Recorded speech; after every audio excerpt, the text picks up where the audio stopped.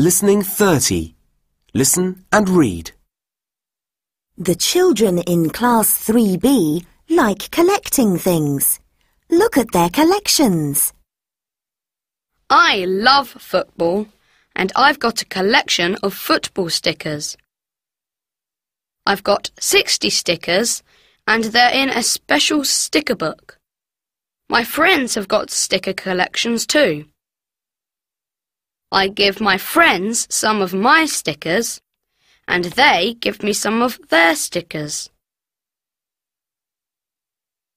I've got a great collection of badges. I've got 50 badges. They are on a scarf on my bedroom wall. I wear the badges on my jackets, bags and hats. They're really cool. My brother and I have got a collection of comics. We've got 100 comics. We like reading comics because they're very funny. Our comics are in our bedroom. Our dad buys us two new comics every Saturday.